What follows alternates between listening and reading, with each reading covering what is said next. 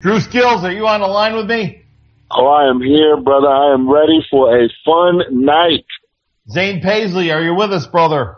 I am so excited. We got the show is uh, evolving, and uh, it's it's going to be a whole lot of fun tonight.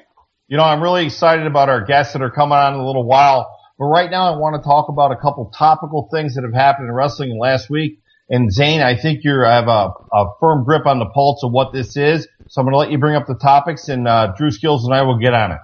Excellent. Um, well, the the biggest thing to me this past week was a fan dressed uh, as a Shield member jumped in the ring at Night of Champions uh, while the Wyatt family were in there and um, Roman Reigns and Dean Ambrose were in there. This is the third or fourth time in in the last month that something has happened with Shield members.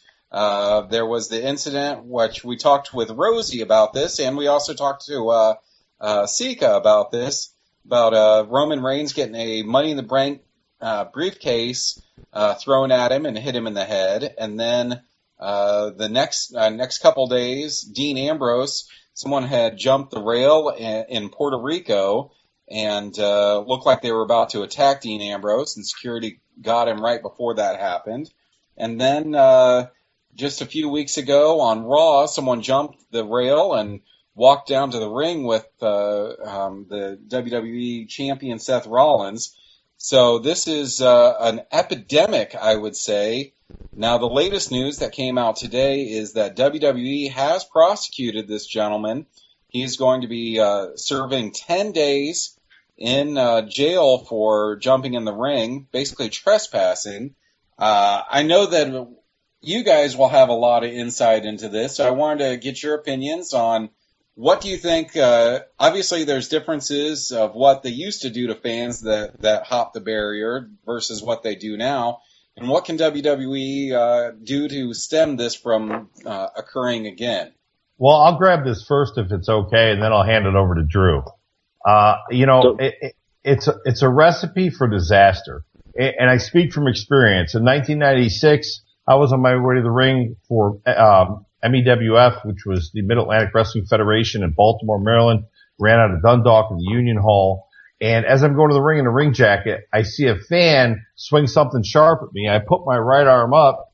I go in the ring. I take off my jacket. The other guy that I was wrestling tells the ref, Cueball's cut really bad under his arm and a guy with a box, a guy with a box cutter tried to cut my throat. And thank God I put my arm up and cut the inside of my arm uh, instead of my bicep about an inch deep versus the fact that he would have cut my throat.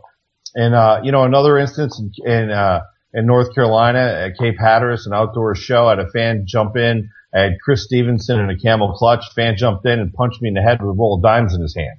So, you know, I, I speak from experience this is dangerous. It cannot happen. Security must be increased. I understand that WWE is prosecuting this man to full extent of the law to set an example for other people. We just had the shooting at the Performance Center.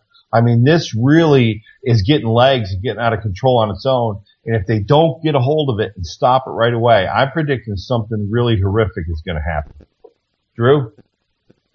Yeah, I completely agree, brother. I uh, had a, a similar instance we talked about uh, on the show before with Zane, where I was uh, attacked by a fan and hit with a hammer.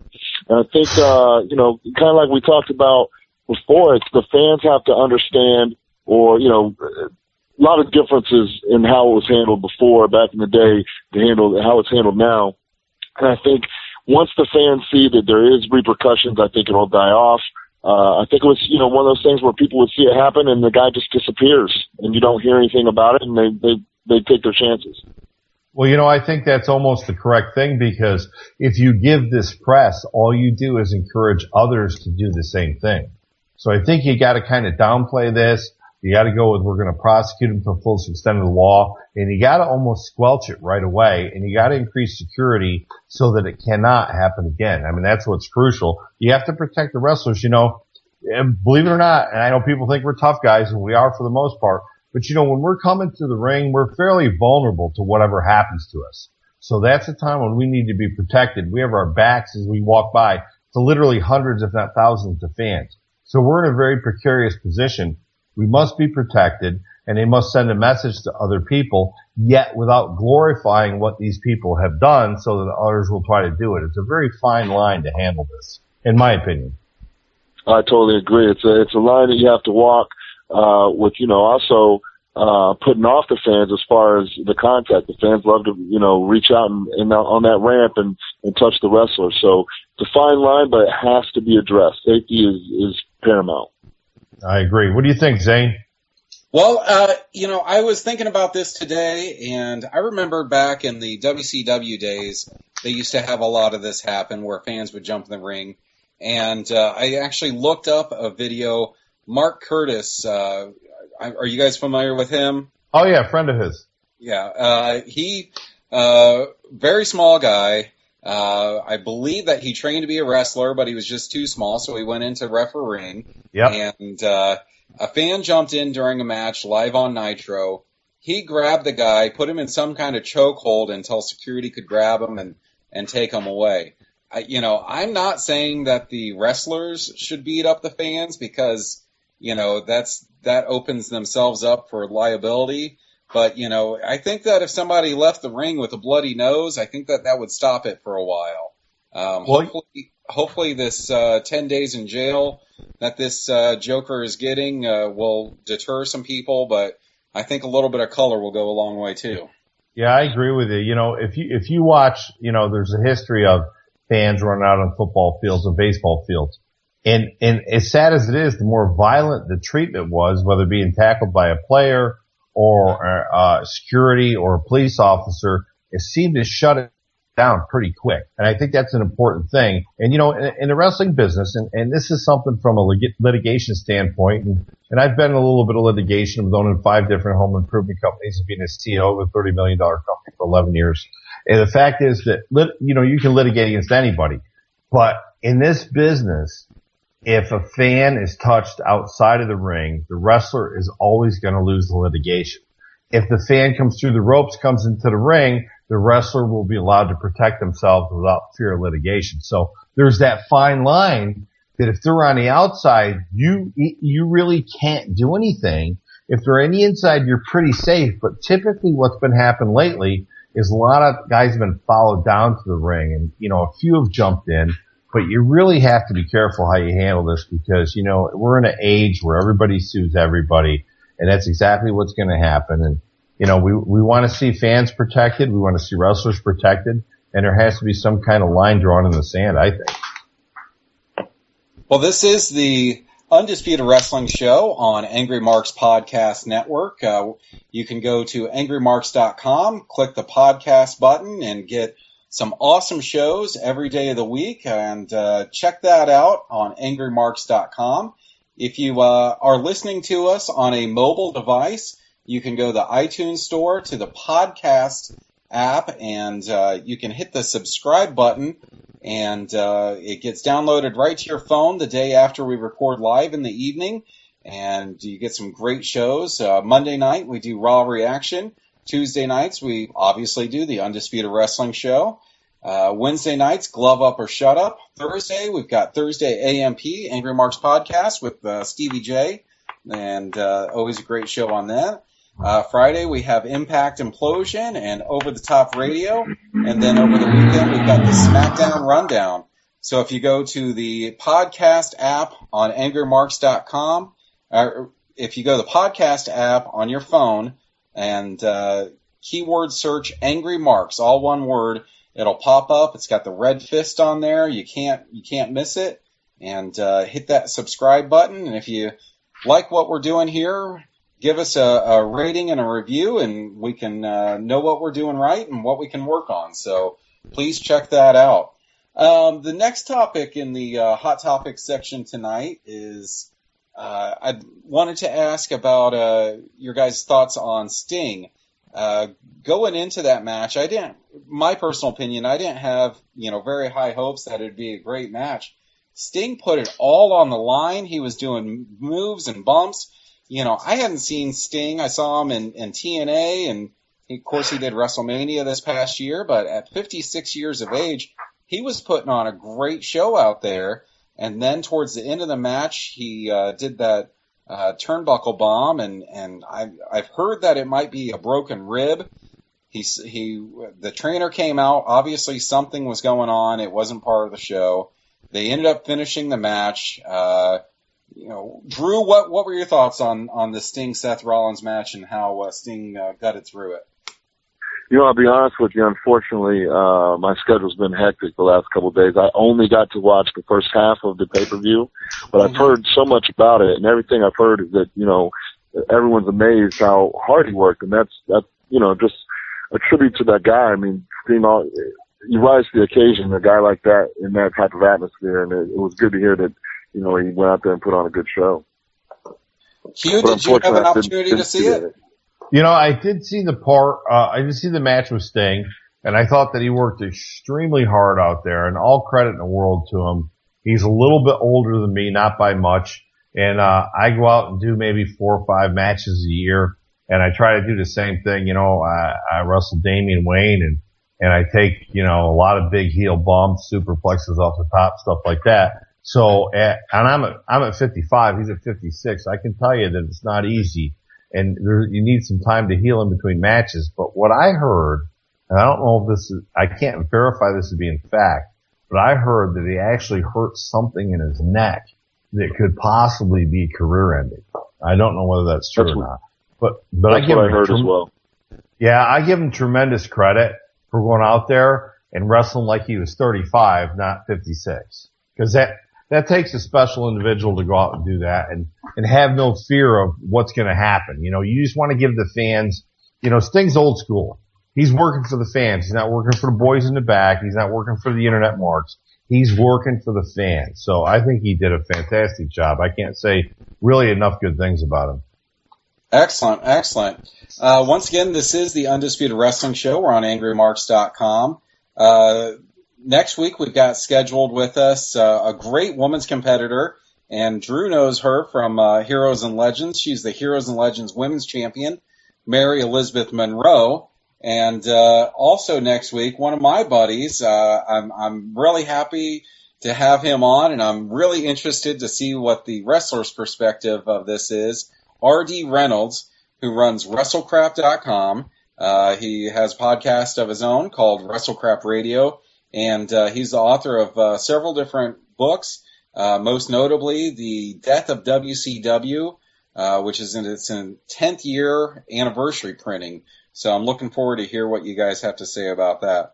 Uh, before we move on to our next topic, uh, Q for for our listeners that weren't able to be on last week, you know, obviously people in the know know exactly who you are.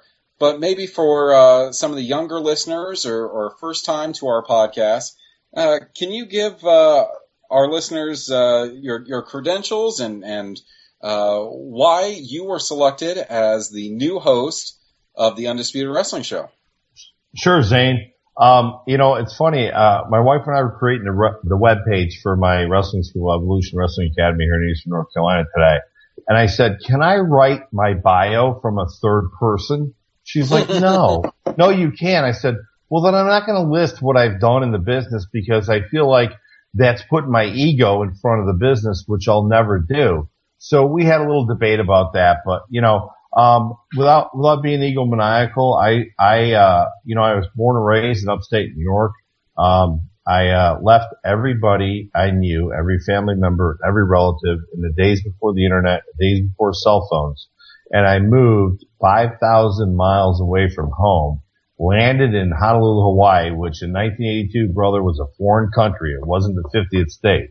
I landed there uh, because I was told by Lars Anderson and Peter Maivia's wrestling school Palama Settlement they would train me. And the only other two options were Minnesota and Calgary, and that was as cold as upstate New York, and I didn't want that. So I went there, and uh, I got turned away from Lars Anderson, told I wasn't big enough at six foot one, two twenty five. Went to Maivia's, was told I wasn't big enough, but followed them to where they trained and hung out at training for a couple weeks till they finally said, "All right, we'll train you." And uh, I trained at Peter Maivia's wrestling school in Honolulu, Hawaii, 1982 and 83. Uh, for people that don't know, Peter Maivia is the grandfather of Dwayne Johnson, The Rock.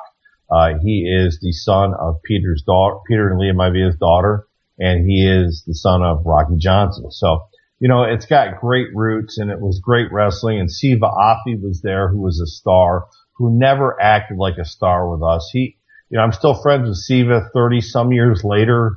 He's back in Samoa. Um, I have nothing but love and respect for him because he treated all of us in training like we were his equal. And at that particular time, he was being seen before 1 billion people a week in Pacific Polynesian Pro Wrestling. So, you know, it, w- it was a great time to get in the business. And I worked in Hawaii for a while, then I came back to the States. I, I uh, settled in uh, Alexandria, Virginia, right outside of Washington, D.C. Uh, in 1988, five years in the business, I just didn't feel like I needed, I, I knew enough.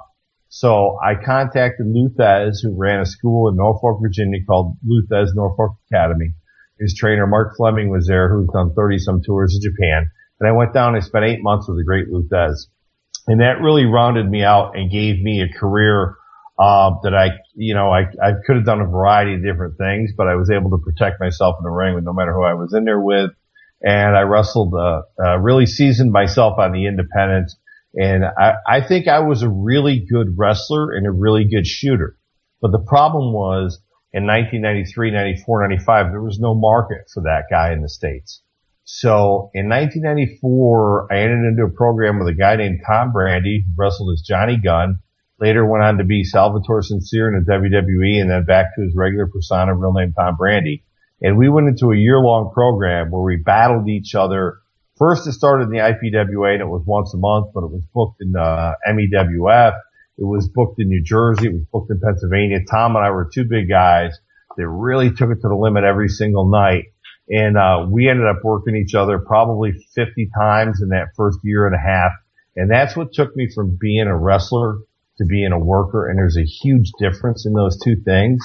Um, and you know, I, I owe a lot of my career to Tom Brandi and what he taught me out there. And guys like Jimmy Cicero who tagged with me and Julio De Niro, who was my, my buddy and, you know, early in his career when he was Julio Sanchez and me, uh, Julio Sanchez, Jimmy Cicero and I lived within 40 minutes of each other. We traveled a lot together.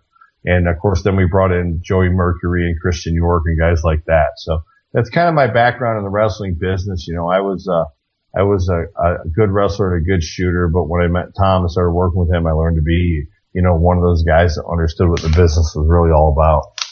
Well, thank you. That was great. Uh, can you talk a little about uh, Mid uh, Mid Atlantic Wrestling League?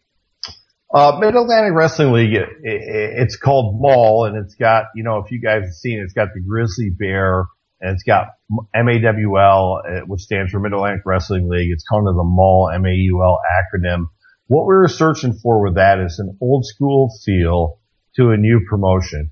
And uh, my guy who does all my graphics, he created the graphics for the Undisputed Wrestling Show here.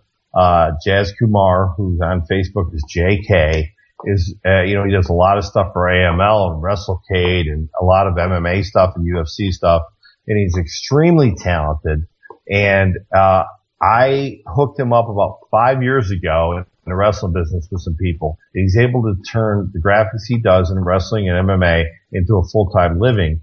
Um, and so he's always been very grateful to me. So he does a lot of my, he does all my stuff. He runs my YouTube page.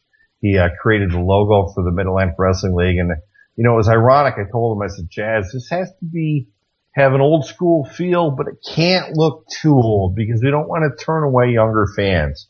So he came up with the grizzly bear and the logo and I thought it was phenomenal. And for the Evolution Wrestling Academy, he took a rough drawing done by my friend Sean Denny in Tidewater, Virginia and turned it into the logo for the Evolution Wrestling Academy. Uh, because, you know, what, what's important to me, and this is something I've learned in wrestling and, and Tracy Myers, who runs AML with Brian Hawks and runs WrestleCade, um, and owns this very successful car dealership, taught me a lot about branding and how you have to be your brand. And, you know, it, it's an amazing thing that when you, when you realize this, and you decide to be your brand, and you know, whenever I go out in public in this town, I'm wearing my brand and I get asked about it all the time. And you know, that's, that's a crucially important thing. As a wrestler, we have to be our brand. As a promotion, we have to be our brand. And that brand has to be recognizable within the area in which we run our events or wrestle our shows in. So, you know, I've, I've learned an awful lot of stuff, uh, both from Jazz creating a brand and, and Tracy Myers helping me establish a brand. Uh, and just, you know, it makes a big difference because in this town right now, Nobody remembers the other promotion that ran here six year, six years ago and ran terrible shows. They remember Mall. They were, they're talking about the Buddy Landel Memorial Cup November 14th. They're talking about the Wild-Eyed Southern boy, Tracy Smothers coming to town facing off against three-time NWA National Heavyweight Champion Lou Marconi in the first round. They're talking about Cueball Carmichael. There's nothing but wars with Damian Wayne, the AIWF World Heavyweight Champion. And we face each other in the first round of this tournament. So, you know, that's the kind of stuff you need to do. And that's what branding does for yourself. And that's what I've really, really learned in the past five years. Hey, Dru, I'm going to get your bio here in just a moment. Um, but I, I, did want to ask you, uh, uh, a kind of serious but kind of lighthearted question. Now, uh, as you explained on last week's show, uh, you're you're getting into the television industry, and as I was listening to that episode, I had a great idea for you. Um, I don't know how successful it would be, so you can laugh it off if you want. Um, but have you seen shows like uh, Kitchen Nightmares and? Uh, oh, stop it! Are you are you kidding me? I shot that pilot for that show last August. It was called Wrestle 911. Bar uh-huh. Rescue, Bar Rescue meets Hell's Kitchen and we went into a promotion in West Newton, Pennsylvania, drawing 120 people religiously. And a week after they drew 120, we created a show. There was no advertising for except locally. I created a community awareness program. Bruce uh, Pritchard was the host. I was the co-host and trainer, and we sold out the building over 400 people to, within a week. And uh, absolutely, man, I think every one of us, Zane, and credit to you, I think every one of us has thought what about a bar rescue show? What about a kitchen nightmare show for independent wrestling? Because it can be so horrific at its worst level, talent wise, show wise, everything. So, uh, last August we shot that pilot. It sets with a three-time Emmy winner named Adam Weikenfeld, who put up the money and shot that pilot and flew everybody in and took care of all the expenses. And it's been shopped at every major network and cable network. And the interesting thing was Spike said it first, and eh, we're not interested. They called back in two days, said, we want to look at it again. They called back a week later and said, it's not a no, it's just a no for now. USA loved it. They said we have the one night for wrestling and it's dedicated to WWE and that's our bread and butter. So we got a lot of positivity out of it, but it's still out there hanging in the wind. Hopefully it'll get bought, but I think any one of us that are passionate and love what we do have probably had this idea and it's a great idea. Well, I, I, couldn't think of anybody better than you that would be able to execute that. So uh, I, I, do look forward to seeing that. I'm hopefully it'll end up on WGN or uh, I don't know. I've heard Destination America might have a few open slots uh, at the end of the year. you, you never know. They may have. All right, uh, Mr. Skills. Uh, if if any of our listeners have not heard your several uh, trips onto our show, uh, I want you to, to plug yourself and, and because this is, and I'm very excited to say this, this is your first episode of the Undisputed Wrestling Show as a co-host, not a guest co-host, not a guest. You are an official co-host uh, now on the Undisputed Wrestling Show. Man, I am. Uh, I'm stoked, man. I'm so excited to be part of the show. Uh, I say every time I come on, I'm a huge fan of the show. I listen to it all the time, uh, regardless if I was on it or not. Uh, so, you know, like I said, I was a huge fan. I'm glad to be a part of it. Q's on now. It's, it's, it's doing big things, man, and I'm, I'm glad to be on board. Well, you know, when, uh, when Rick said that he was going to be stepping, Rick the Prophet Craig was going to be stepping back and serving as the executive producer for the show, and that, uh, Cueball Carmichael, a North Carolina guy, was going to be uh, taking over the hosting duties. I said, I can't, I can't be in here with uh, two North Carolina guys, Cueball and, and William Huckaby.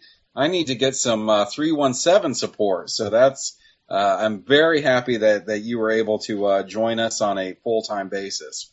Well, you know, Zane and Dru, I got to tell you, it's really funny, but Rick and I were talking uh, about who would be, you know, uh, and, and I look at it this way. Dru and I are both the hosts of the show.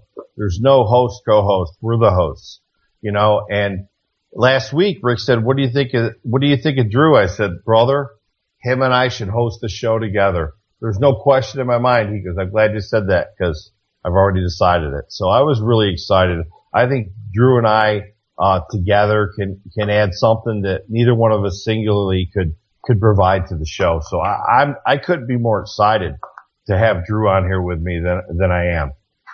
Excellent. Well, excellent. I really appreciate that. All right. Really appreciate it, Q, and I'm happy to be here, baby. Take it away, Zane. Let's get this going.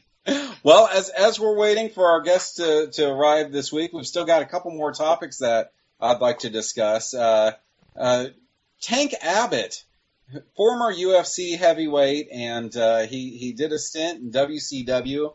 Uh, I mostly remember him for uh, uh, pulling a knife in the ring. It was an angle, but it was still very weird. Um, has recently come out and said that uh, speaking of Ronda Rousey, uh, he can beat any woman on this earth. Uh, this is a quote from uh, Tank Abbott. I will fight any woman on this earth for free. If I win, which is going to happen, and you're going to get bashed up good, you have to make me a sandwich. If you win, I'll give you a hundred thousand dollars. Uh, what are you guys' thoughts on uh, Tank Abbott basically challenging Ronda Rousey? Well, I, I'll tell you from my standpoint because I'm a huge UFC nut. Um, Tank Abbott is way past his prime. Number one. Number two, I don't think he's got a hundred grand in the bank if he counts all his family's money. Number two, and number three, you know what? Of course, a guy can beat a girl. You know what? Uh, great job, pal. You know what? You proved that a guy can beat a girl. Big deal. You know what? Fight a man. I, I'd fight Tank Abbott for free. I put up 10 grand of my money to go to any charity. I'd fight him in the octagon. I'd tap his fat ass out. I guarantee it.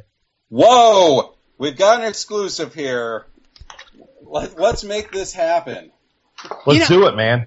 You know, if I could just jump in and make a comment for a second, Tank Abbott is funny because a hundred thousand dollars probably buys about 30 seconds of Ronda Rousey's time this day.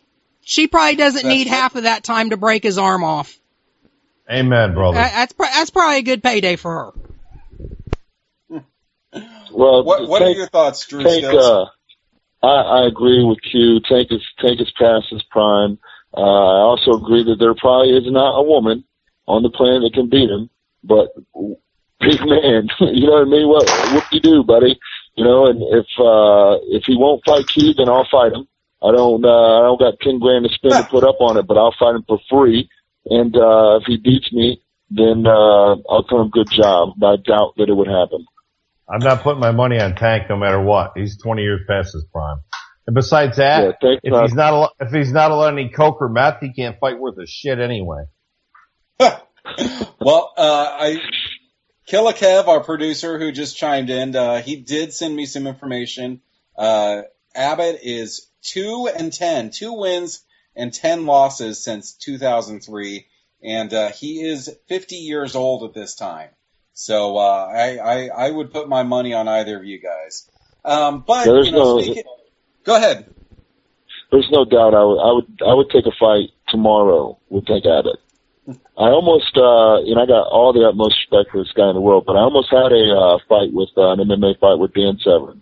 But unfortunately, uh, Severn wanted a little bit, he said, you know, and of course he was right. I, I wasn't, you know, no fighter at the time as far as having a record or anything. So it was a, a lose-lose for him. If he beats me, big deal. He beats someone on their first fight. If he loses, then, you know, it kills him. Uh, so he wanted a whole lot of money, but it was real close to happening. Me and, me and, uh, Dan Severn in a fight. I would love to fight Tank Abbott. Now, Q, have you ever uh, been involved in a MMA shoot fight? Let me tell you something, my friend. I was Dan Severn's tackle buddy in the mid '90s. Dan Dan worked for me at the IPWA, which was a federation I ran from 1995 to 2002. Wrestled at a little underground bar in Northern Virginia called the Secret Cove. And Dan Severn, I booked him knowing that he was going to beat Ken Shamrock in May of 1996, and surely he did. And he walked into my federation, be coming off fresh off a UFC win over Ken Shamrock, Ken Shamrock, and wrestled a guy named Jimmy Z and tapped him out. I told Dan, it's, Dan, it's got to go five minutes. I got to get my money's worth. Five minutes, five seconds, he tap the guy out. but you know, Dan did a Dan did a uh, a seminar that day in Manassas, Virginia, at a karate studio. And of course, I picked Dan up and went over to the hotel with him and his son. And over to the karate studio and he goes, Hey, you're a wrestler, right? You're a tough guy. Said, I, I, I don't know. I don't really think of myself like that. And he goes, I'm going to use you to demonstrate submission, on. Now I'm a guy who doesn't bruise very easily, but I can tell you that my arms and legs were covered in bruises the next day. So Dan, Dan was a badass man. Absolutely. In his prime, he was a bad man. But you know what? He was a really nice guy too. He worked a lot for Dennis Coralluzzo in the NWA in New Jersey, and he was very personable and a nice guy. Uh, when I went to WWE in '96 through '99 as regional enhancement talent, Dan was up there a lot, and uh, as was Shamrock. And you know, Dan was a really nice guy, a true gentleman. Well, uh, we have had Dan Severn on the show several times. Uh, I believe he's been on three times. So our listeners can go back and look at our archives if they go to the Undisputed Wrestling Show dot Weebly, that's W E E B L Y dot com, the Undisputed Wrestling Show dot Weebly dot com. They can check out all of our archives, including our several episodes with Dan Severn, uh, and Dru Skillz and Cueball Carmichael. Uh, so, uh, they should definitely check that out and they should check out our upcoming guests. Mary Elizabeth Monroe next week, the Heroes and Legends Women's Champion and uh, WrestleCrap.com founder and author of The Death of WCW, R.D. Reynolds. Uh, and then that's next week. And then on the 6th, I know both you guys are looking forward to this show.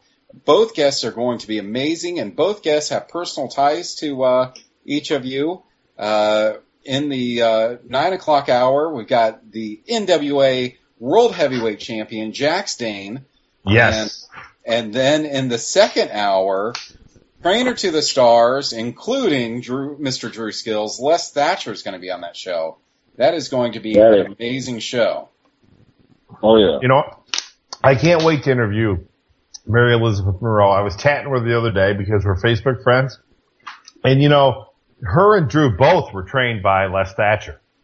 And Les Thatcher, uh, to me, I, I look up to very few people, um, mainly because I'm 6'3", sort of a height, height joke, but I look up to very few people in the wrestling business because to me, and Lou Thesz taught me this, you have to have integrity and you can never sell that integrity or you never had it in the first place. And to me, Les Thatcher is one of those guys. He's a personal friend of mine. Uh, we talked about a month and a half ago for two and a half hours. Les is the epitome of what I hope to be someday. So, you know, and that's one of the reasons why I'm excited to have Dru co-host, but to have Mary Elizabeth Monroe on the show. I mean, and Les Thatcher coming down the line. I mean, how great is this? Yeah, Oh, uh, it's awesome. the Prophet Rick Craig has been uh, lining up some great guests, as well as our uh, new uh, host Dru Skillz has been helping out, getting some of his buddies on here. So we've, you know, it's it's going to be an amazing fall on the Undisputed Wrestling Show. Um, next topic, I wanted to briefly discuss, and we we can talk a little longer on it. But I brought this up on past shows, and I wanted to get, uh, but I haven't discussed it with you two. Um, we had mentioned that uh, Tank Abbott was challenging Ronda Rousey, and that got me on a train of thought of what are your two opinion on intergender matches, um, where it's a woman wrestling a man? Is, is Are you serious? I gotta ask you, are you serious? Did you not see my profile picture and my Facebook page where I'm choking out Mae Young? Oh well, I have seen that, and, and but but I- you know they they've it's changed a lot since then. There's there's a great mini doc um, out on YouTube about it, and it's about uh, Veda Scott and Gregory Iron, uh, their their feud. You know, so you know, is there a place for it, and does it go too far? Is it you know? Would you want to see it once a night? Would you want to see a whole card of it? You know, what are your what are your thoughts on it, Q? Since since you've had the pleasure of working with Miss Mae Young. Well, you know, uh, here's the thing. It has to be in the proper context. Now, surely when uh, Dino Devine and I were the Maryland Championship Wrestling, which, as you know, is a pretty big independent has been for nearly 20 years, um, when we wrestled Mae and Moolah, it was strictly a, a match based on entertainment. You know, it was uh, It was crazy. One of the funny things is I got Moolah or I got Mae up over my head. I'm going to body slam her. And, and now she's got to be 70 something at this age. She goes, honey, slam me over the top rope to the floor. I'm like, I'm like, Mae, I don't want to kill you. I just want to wrestle you. so, but it was funny. But you know, I had plenty of matches in the 90s. Debbie Combs, Cora Combs' daughter, Debbie Combs and I tagged up against Malia Hosaka and Doink or anybody else that she had with her and did plenty of tag team intergender matches and stuff. And they can be extremely entertaining and they can be fun. And you know, the old school Southern chicken shit heel can look great in those matches. But I think if you're going to do it as a shoot style match, it really is not something that's going to draw many people. Although I will tell you, some of the girls in NXT could probably kick a lot of the guys on the independents butt in a match. What do you have to say, uh, Heroes and Legends champion Dru Skillz? I think uh, Q hit it right on the nose. It's got to be in the right context. You know, I, I was trained in the art of pro wrestling. You know, we've been talking about less and, and things like that. And what we're doing out there is we're we're having people believe into the simulation of a competition that we're fighting each other.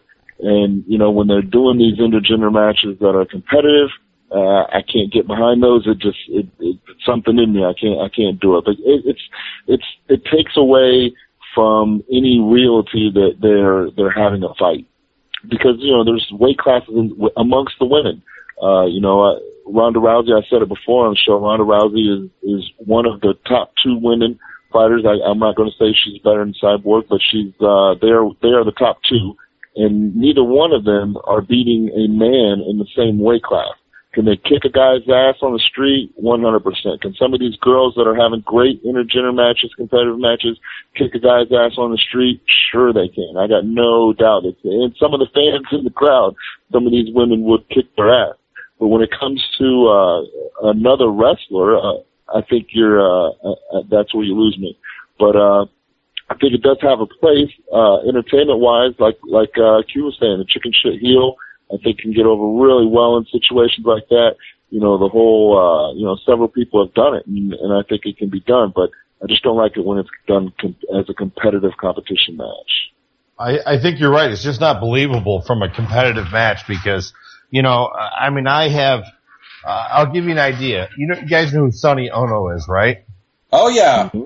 Well, Sonny had, had a girl that trained with him for many years and she lived in Northern Virginia and she was running a self-defense class and we got talking one day and this is about 10 years ago and I had been down to WCW with Julio Sanchez and, and, and, and been to the, been to the uh, power plant and things. And I met Sonny and Sonny, you know, if you don't know it, Sonny's really truly a badass. I mean, he, he crippled the average guy.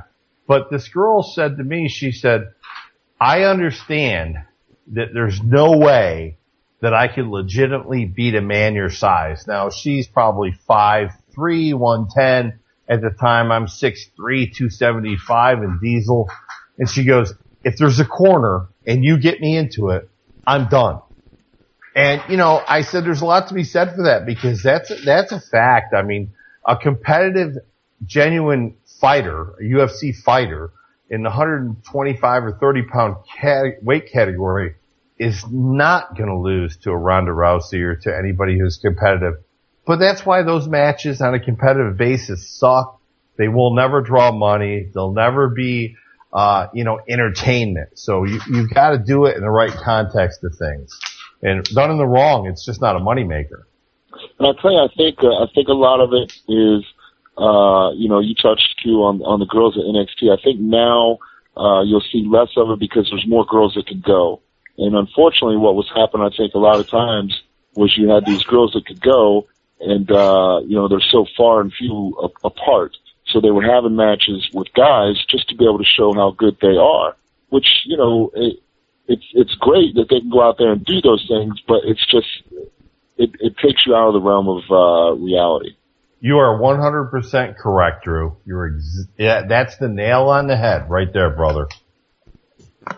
Well, since we're since you had mentioned that there are so few women out there that can really go right now, Dru, uh, who are some of the women's wrestlers that you want to put over? Now, if if your name is not mentioned, it doesn't mean that Dru and Cueball aren't huge fans of you. This is just off the top of their heads. Yeah, one of them is. Uh, I'm, I'm looking forward to talking to her next week, Mary Elizabeth, Mary Elizabeth Monroe. Bingo. Monroe, definitely, uh, definitely. She's one of them.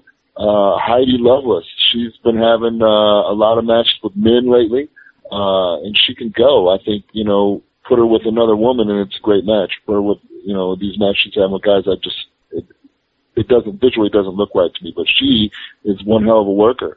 Um, and then you got uh hardcore Heather Owens in Ohio is a good uh, worker as well. There's there's a few of them out there, and there's uh, you know Kimberly and and Amber O'Neal and uh, several several women are Gallows now. There's several of them out there that can go uh, and have really great matches. I just I just want to see them wrestle each other. I'm a big fan Not of Cameron me. Starr. You guys you guys see Cameron Starr wrestle at all? Maggie Hassler.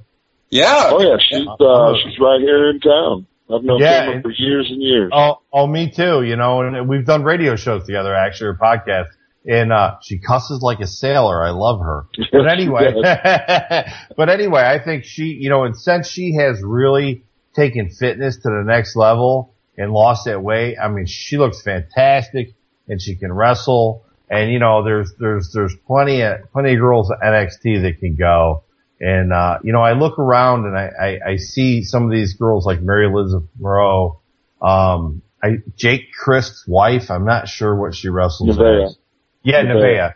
Nevaeh Lynn, or Nevaeh. I think she's really good. Um, I, I have seen a lot of lady wrestlers that are really good. I mean, Mickie Knuckles was incredible. You know, she's, she's taking the time off to have another baby, but she was incredible. But there's a lot of really good women out there on the independents that could go down to NXT and I think carry themselves really well. Well, oh, and, put... uh, I can't believe I, I can't believe I forgot her name. Sarah, uh, uh, Crazy Mary Dobson. Uh, Crazy Mary Bodnar. Crazy Sarah Mary Bridges. Dobson. How can yes. I forget her? She's, She's, awesome. I love Mary. She's awesome. Oh my, oh my God. She, she sent me a match about four years ago, five years ago. She said, Pondo said to send this to you sent me a match. She was, what can I do different? I critiqued her on about five or six matches. And then she sent me a match that was just kick ass, bro. I said, okay, yeah. you got it. You understand what you're doing now, but yeah, crazy. Oh my God. Crazy Mary, Sarah Bridges. She's, you know, she's one of those girls that could get signed tomorrow and be right in the thick of things. She's unbelievable. She's, she's appeared on NXT programming, uh, right. Uh, another another girl, Mia Yim, has been on NXT but hasn't been picked up yet. She's great, and I want to put over uh, two ladies that I saw uh, in the last year.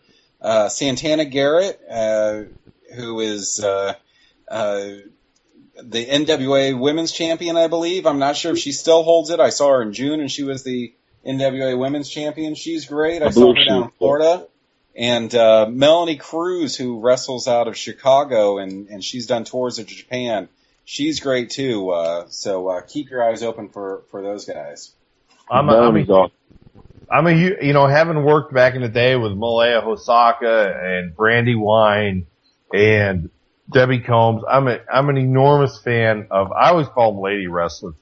I'm an enormous fan of lady wrestling. You know, I have been my whole life. I support them 100 percent.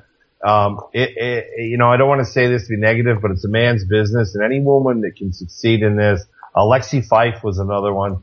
You know, Darcy, Darcy, uh, what's Darcy's last name? Darcy. Oh, I feel so hmm. bad. I don't remember it. But anyway, um, you know, it's amazing to see such great young uh, female wrestlers out there. It does my heart good because it's difficult at best to be able to succeed as as a woman wrestler. You know, a friend of mine for 20 years, Fantasia, succeeded and did very well at it. And, uh, you know, Lady Victoria, of course. So, you know, I, I just think it's a, it's a, we need more women in the sport today and we need to have a competitive women's division. I think that would attract a lot of people, not divas, but a competitive women's edition, uh, you know, division. I agree. Well, I, I actually asked, uh, Rockin' Robin, Robin Smith on this show. It's about a year and a half ago or so, asked her her thoughts on the, the television show Total Divas, and she said she was fine with it because they were divas, they weren't wrestlers. Um, so I, I think that that says a lot, and I, I would I would love to see a resurgence in, in that, and you know, one uh, person that has been bringing that back is uh, Sexy Star in Lucha Underground, and Lucha Underground has been picked up for a second season on the El Rey Network. Uh, That's fantastic news. Yeah. Uh, what What are your thoughts on Lucha Underground and and the possibility of more places for guys and gals to work? Well, I can tell you if I could jump in there, I love it. You know, I think the match between Vampiro and Pentagon Jr. that was Vampiro's first match in 10 years was absolutely the best match I saw last year. And I saw a lot of matches. I think it was just incredible. It brought old school selling into it. It told a story. It had a twist at the end. I, you know, I, I, I twittered Vampiro the day after I saw it. I said, father, this is fantastic. I couldn't believe it. I was so excited. And then I started watching more Lucha Underground and I gotta tell you, I'm excited about it. I think it's fantastic. It's an alternative product and that's what the business needs. You know, so many promoters go out there and they try to be Vince Jr. And let me tell you, if you, if you mimic the WWE, you are destined for one thing and that's failure. You cannot do that. You have to offer something as an alternative so people can go and watch something different. And I think that they're doing a phenomenal ground at Lucha, at Lucha Underground. I think they're doing a phenomenal job and I'm really happy for the success and, and proud of Vampiro and Pentagon Jr. And, and all the guys down there. I mean, John Morrison's down there. He's doing phenomenal. I just think it's great. What are your thoughts, Dru? Oh, it's it's awesome for the businessman for uh, to have like like you said an alternative, uh, something for fans to watch. Unfortunately, I don't have the El Rey network, uh, so I've only watched a few matches uh, where I've YouTubed and watched the individual matches, but I haven't watched the program uh, and how it's put together. So uh, I don't know a whole lot about that, but the fact that it's out there is is great. Uh, another place for for people to be able to aspire to get to. Uh, the more places that there are to aspire to get to, the, the more motivation is to work hard, and the, the more people that work hard, the better the industry gets. You know, it's yeah. funny that it's funny that you say that, Dru, because as I was writing up this this bio for this web page today, and you know, you got to have uh, about us and what we offer and all this stuff. And it's all new to me because I don't, I don't like talking about me because what I've always preached in the business is hang up your ego at the door when you come in the locker room and we can do great things together. So I don't want to possess an ego when I do this, but it's, it's difficult not, not to write it when I do. But you know, there, there is some amazing stuff happening now in the wrestling business. I think we're at the, at a great place. We, I mean, let's be honest, we've got federations like I work for and I'm blessed to work for them as a manager, Omega. They draw a thousand plus at every show. Uh, you know, Luke Hawx's group, Wildcat, down in Louisiana is drawing a thousand plus at a show. There's a group in Little Rock drawing a thousand plus, a group in New York drawing a thousand plus. So some independents are doing great. There's Ring of Honor, there's TNA, and you know, one thing about Dixie is she's a survivor. She'll find another network that'll take her. It's just the way it works. And, you know, uh, Ring of Honor's doing great things and, and WWE, of course, is WWE, but uh, Jeff Jarrett's Global Force is, is starting to get a little bit of momentum with it. I, I, I like to see a couple different things happen with it, uh, that I think would make it successful, but that's my own thing. And, you know, there's some really good, solid wrestling companies that are setting on the crux of exploding and being able to give people work where they can actually do what we did in the 80s and 90s, and that is make a living at being a professional wrestler without being at the WWE. So I, I'm just pumped about the business and the way things are going right now. I think it's at, at a crux where it's going to explode, and there's just you know phenomenal opportunity for the young guys. I mean, I'm way past my prime, but you know the young guys that I train and work with and mentor, there's tremendous opportunity for them these days. Cueball, are you are you familiar with a uh, guy named Kongo Kong? Oh my God, I got to tell you about him. I saw him a year and a half ago, uh, May 2014, and when I saw him physically, I'm like, yeah, I'm not impressed. And then I saw him wrestle, and I was like, oh my God, he was phenomenal. Yeah, he was a he was a big part of the uh, Global Force tapings, TV tapings, and hopefully that will lead to to some uh, national exposure for him. Uh, Dru, uh, can you can you tell uh, Cueball uh, a little about your knowledge with Kongo Kong? Oh man, uh, me and Kong go way back. I've I've told him to his face, and I'll be happy to say it here so more people can hear it. Uh, I'm so proud of uh, of Kong of Steve and where he's came. When I first met him, uh, he he couldn't get booked to save his life. He was working for one place and one place only, and uh, you know he the where where he's come where he's at now versus back then is is so so different, leaps and bounds. This guy, uh, you know, he worked really hard at developing uh, his his coming into his own and and you know taking this Kong character and uh, being able to come out of a shell with it. Uh, you know, he was like I said, it's I'm, I'm real proud of Steve. I've known him for for several years, and to see him from when I first met him, uh, threw him up on my shoulders and threw him around, and because uh, he let me, and uh, you know, to where he is today is is amazing. He's a great guy too, which always makes it that much better. Hey guys, I, I just wanted to share with you. I got a message from Greg Buck, who's a referee in Tennessee, and he's uh, going to come in and do a couple matches for us on the Buddy Landel Memorial Cup. And he was going to tune into the show tonight. I had a lot of friends that were tuning in, and his statement is cute. It's an awesome show. All of you guys are great. So I wanted to pass it on to you guys that you know, we have a guy who's a referee in the business who's pretty talented, knows what he's doing, worked with some of the biggest stars in the business, and he's enjoying the show and, and thinking we're doing a great job. So, you know, that's all the validation I need. Well, thank you, thank you so much, Mr. Bach. We, we really appreciate that. And, you know, this is a new format for us and, uh, it's, we're excited about the changes and, uh, the Prophet Rick Craig has left uh, us in very good hands, and and Killikev's working the ones and the twos. So uh, you know, keep tuning back in uh, week after week because it's only going to get better. We're really looking forward to it, and uh, definitely like us on Facebook at the Undisputed Wrestling Show. Uh, like us on or follow us on Twitter. Uh, it's TUWS Podcast. It's at TUWS Podcast.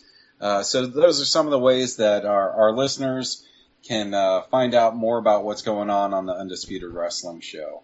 Um, and you know what's great, Zane? You know what's great? Yes, sir. Is is uh we still don't the Morning Star is yet to join us. He'll still be he'll, he'll be on with us later, right? So it's only going to get better. Yeah, he should be on anytime now. He he usually makes his appearance uh, in the main event uh, at the ten o'clock hour. So very much looking. And you guys, the, you guys, you guys all, you guys all know that Will and I are really good personal friends, right? Oh no! Right on.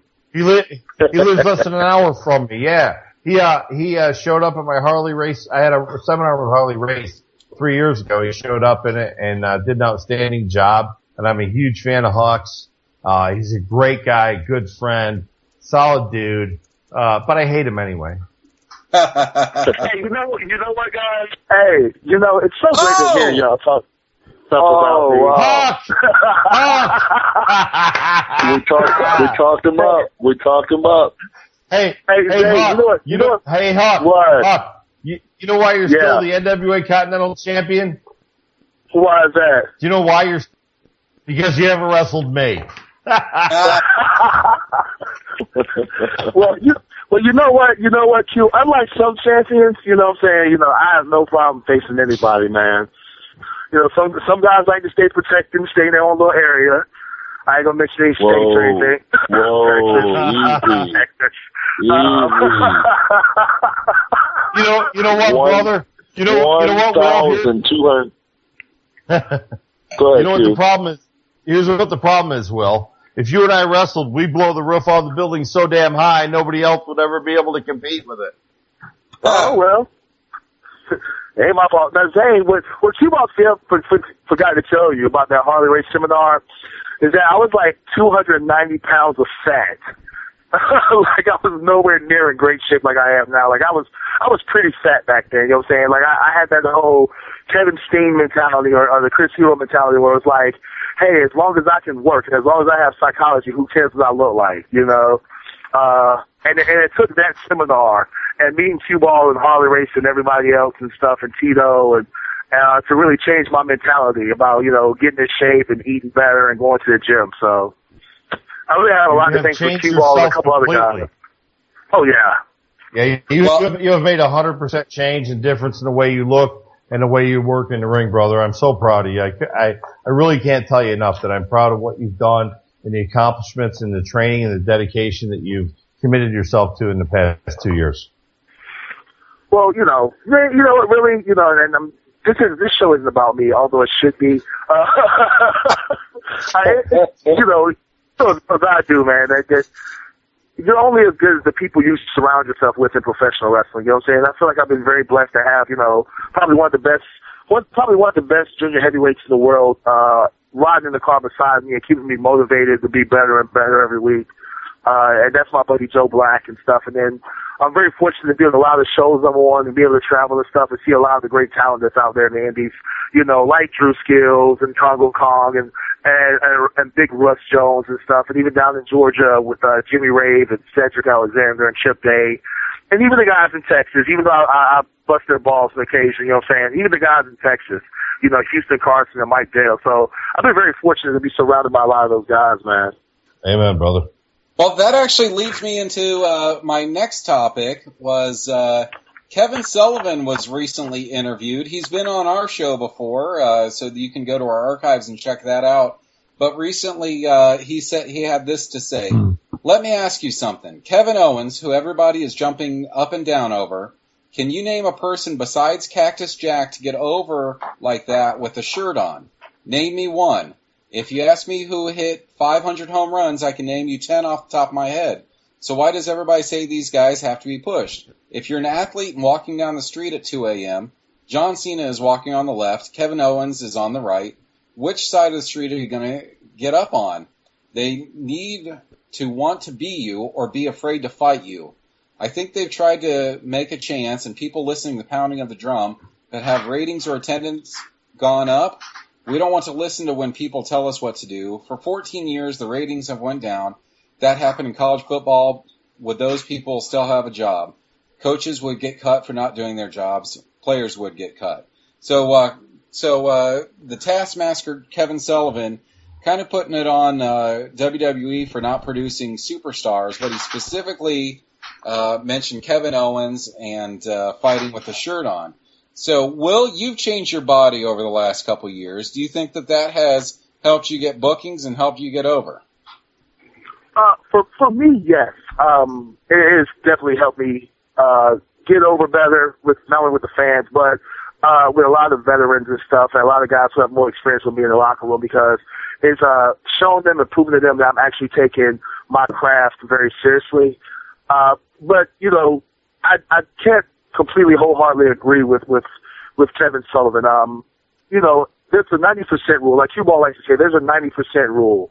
Uh, 90% of us out there in the Indies need to go to the gym, need to eat better, need to work out.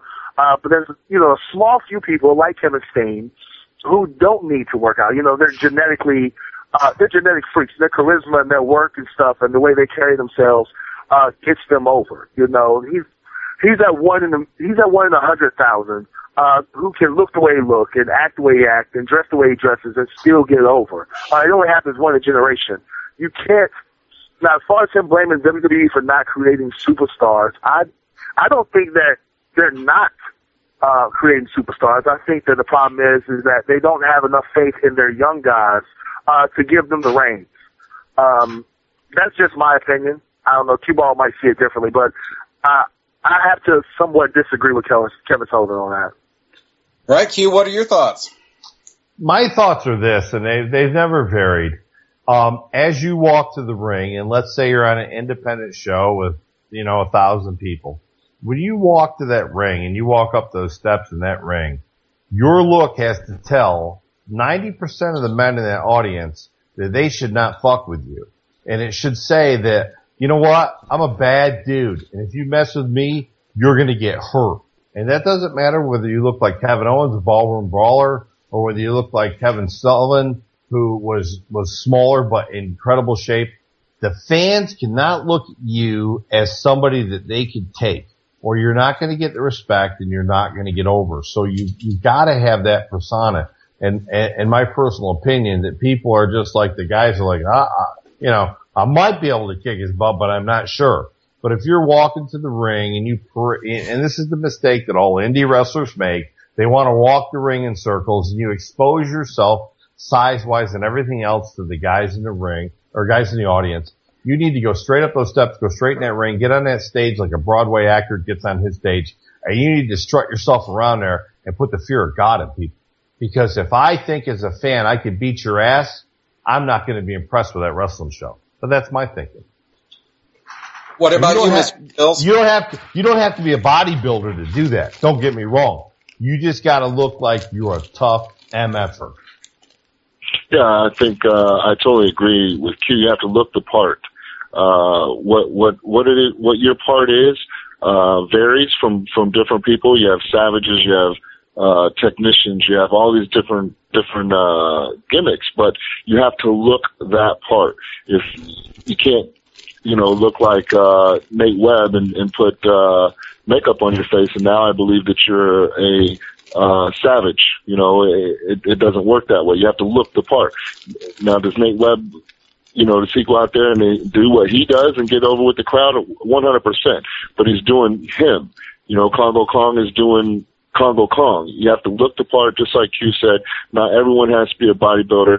The thing of it is, is that not everyone can do that. It is a uh, you know a very small percentage. I agree with with uh, Kevin Sullivan on that. That you know, there's not that many people that can pull it off.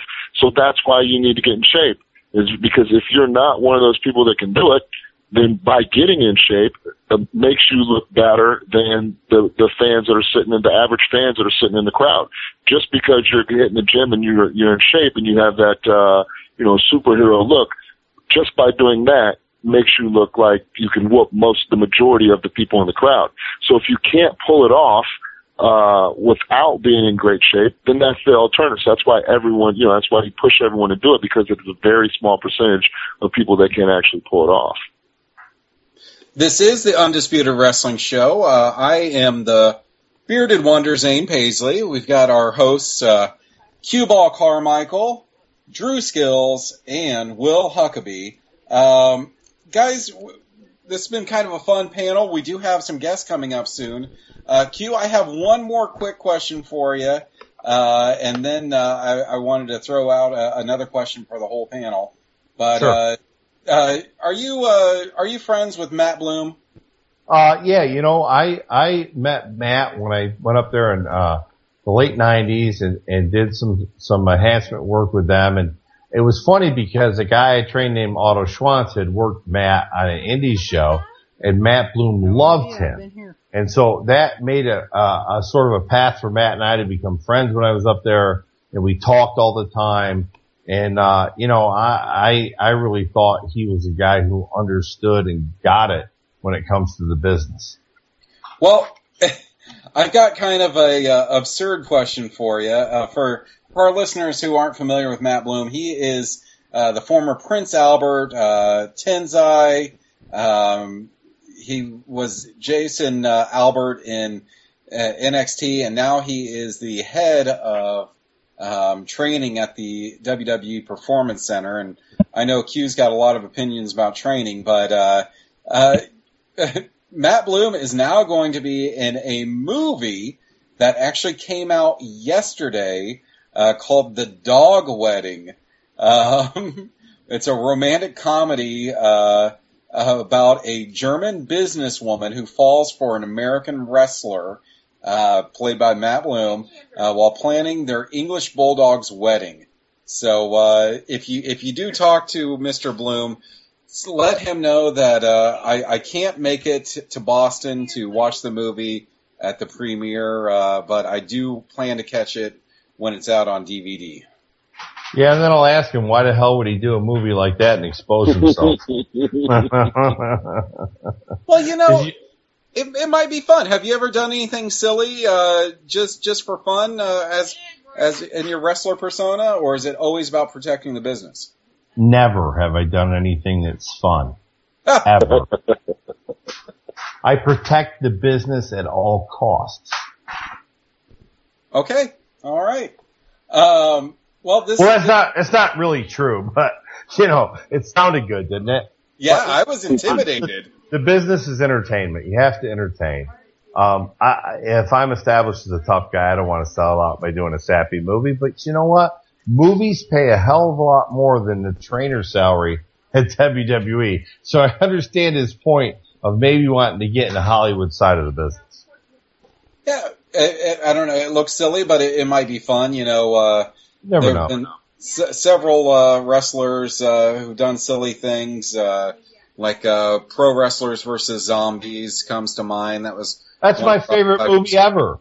Really? Is that? I, oh my I gosh, Matt, Matt and Reby were living the real life in that movie. I loved it. and I know uh, your buddy uh, Ryan uh, Mitchell, Mitchell. had a lot to do with that. yeah, he choreographed all the fight scenes. Yeah. So good. And uh, hey, you know what? Shane Douglas, who's been a friend of mine for 20 years, was in it, and they had Piper in it. So, you know, for me, it Yeah. couldn't go wrong. Piper saved whatever it was you could save. Piper did his best to save it, but it was a lot of work, brother. Um, well, you know, my uh, next question is for the whole panel before we get to our uh, before we get to our guest tonight, uh, and we'll we'll start off with uh, Will Huckaby since he's had the least amount of time to uh, get himself over right now. Uh, Will, what is exciting to you in pro wrestling right now? And this can be independence, it can be Japan, it can be WWE, it can be anything. What makes you excited for pro wrestling right now? Uh, what, oh, Jesus, that's such a crazy question. Um, I think what makes me excited right now is actually a lot of the indies uh, are going on right now. It's almost like there's a a revolution of, of indies uh, who are who are putting on great shows. Uh, places like PWX and Omega, um, AWE down there in Georgia. Like watching these guys, watching guys come back from from you know their quote unquote demons of the past and and come back and, and put on great matches, uh, like Jimmy Rave down in Georgia and stuff. A series of matches against guys like Cedric Alexander and, and JT Dunn and stuff and Chip Day. Uh, that's what makes me excited about being a pro wrestler. Watching, uh, young guys like Timothy Bumpers and, uh, or aka Timmy Lou Retton, uh, and Darius Lockhart. Watch these guys, uh, come into their own and stuff and, and really start making a, uh, start making a name for themselves in the indies and stuff like that's really getting me excited to to not only watch wrestling but to be a part of wrestling right now. Excellent. What about you, uh, Mr. Dru Skillz? Uh, I, I agree a lot with what Will said. The fact that uh, I I don't want to say a resurgence, but it's definitely trending uh, that direction. Um, you know, there's more places for people to work and, and make a living at. Uh, you know, even if it's even if it's a part-time living, it's better than what it was a few, uh, you know, just a couple, three, four years ago. So, you know, the fact that that's getting better, and, and the big thing uh, is the fact Yeah. whether or not they know they're doing it or not. Uh, the fact that WWE is actually helping with that. Uh, you know, a, a lot of times they do their own thing and they, uh, you know, they, they don't acknowledge any of the other wrestling, uh, going on in the world. And the fact that they are and the things that they're doing with NXT, regardless if they're trying to help, you know, the, the, the whole wrestling as a whole or they're not trying to help, it is helping. So I think that's exciting as well. All right, Q. What what is what makes you excited about pro wrestling right uh, right this minute? Three letters, NXT. You know, to me, it's amazing that WWE offers a product called sports entertainment and NXT offers a product called professional wrestling. And I think it's fantastic. And you know, what it's doing is it's given legs and life to a lot of the bigger indies. Because if you truly look at NXT, they are wrestling there. And that's one of the things that I think the business has needed. It needed somebody at the top to quit doing sports entertainment and start doing pro wrestling so that people would fall back in love with pro wrestling. And I think NXT does it on a big scale. And I think these other independents like Will and Dru talked about, you get Omega, you get Cassidy Riley's group, you get, uh, you know, Wildcat, Luke Hawx's group down there in, in Louisiana. And you get some groups that are just doing incredible things and drawing phenomenal numbers. And how can you not be excited about the future of the business in 2015 with all this happening?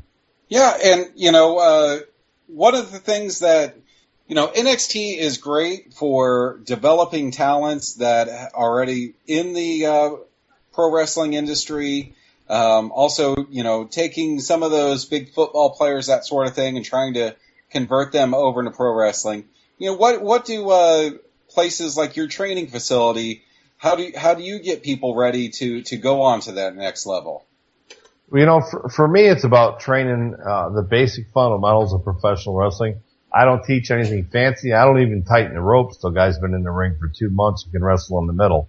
I don't want them hitting the ropes, hitting the corners because anybody can do that. That's an excuse for not knowing what to do next if you're wrestling in the middle, in my opinion. So I teach my guys to spend the first two months of their career wrestling in the middle, not needing the turnbuckles, not needing the ropes, and then slowly we phase those into it just a tiny bit.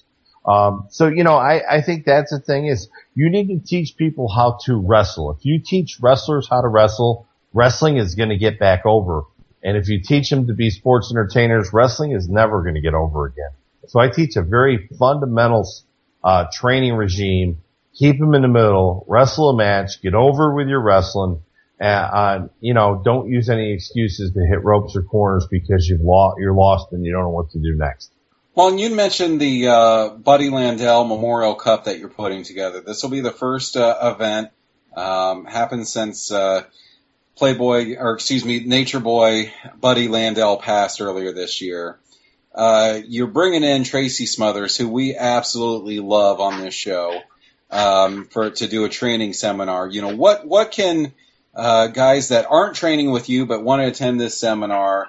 What can they learn from a, from one day event with uh, uh, geniuses in the business like you and Tracy Smothers uh, to to get them from you know the point that they're at now to the next level? Well, you know that's the problem with most wrestlers is they don't have a a given path or a road to success in wrestling. So they wander aimlessly about doing show after show thinking if I do this one and this one that draws 80 or 100, I'm going to get over and I'm going to get spotted by the WWE. And that's not reality. So what Tracy's going to train people to do, number one is to establish a story in the match. Use intelligent psychology. The first thing you do has to lead to the next thing you do has to lead to the last thing that you do has to lead to the finish. And that's what he teaches. He's also going to teach guys how to get booked in Japan because he spent tons of time there. What I'm going to teach him is how to make money management and become wealthy. so yeah, it's, it's not much of a trade off there. How you can get into the stock market. And today I, I, I doubled two and a half times my money on one stock. So, you know, I can teach him how to do that. Tracy can teach him how to do the other stuff. I've been fortunate. I've never need to make money in wrestling business to be successful. I've had a humongous successful outside career. So I'm the unique guy that can tell you how, you know, if you make money, what you can do with it and how you can protect yourself and, you know, things like that, tax shelters, stuff like that. So, but Tracy just offers a wealth of experience. I mean, the guy is trained for WWE. He's been in WCW. He's been in the NWA. He's been in WWE. He's been in WWF. He's been to Japan. He's, he's trained tons of guys. He's just, you know, he's, he, him and Buddy and I were, were three best friends. That's the way I can describe it because the day that Buddy died, Tracy heard about it before I did. Tracy called me and asked me if I was working. I said no. He goes, are you sitting down? I said yes. And he told me, you know, and, and we cried together on the phone for an hour. And it's just him and me and Buddy were just tremendous friends. And when I decided to do this memorial tournament, the first thing I did is call Tracy and say, I want to do it when you can make it. And he's, he, you know, the amazing thing is, uh, Buddy had custody of his grandson Ethan, and uh, Buddy's daughter, the mother of Ethan, had passed away in April this year after a lengthy illness, and Buddy was the the sole support of Ethan, and he's gone now. He died June 22nd. She died in April.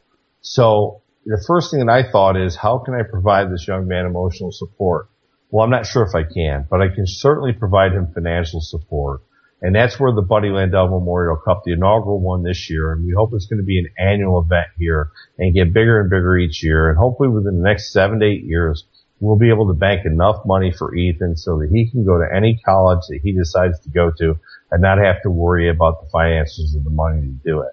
And you know, if you know Buddy Landel, if you've ever worked a show with him, if you're ever a green guy to talk to him, Buddy never refused helping anybody. He was out there trying to better the business in each one of us and you know, he, uh, he really gave himself to this business and he, he gave everything he had to us. And, you know, him and I had been best friends for 20 years. We talked every week and, you know, it, it's just, uh, it's hard. The sense of loss that I, I have since Buddy passed away is a greater sense of loss that I had with either of my parents that passed away because you expect to bury your, your parents, but you don't really expect to bury a contemporary. And that's what he was. And, you know, so it's been, it's been a difficult road for both Tracy Smothers and I.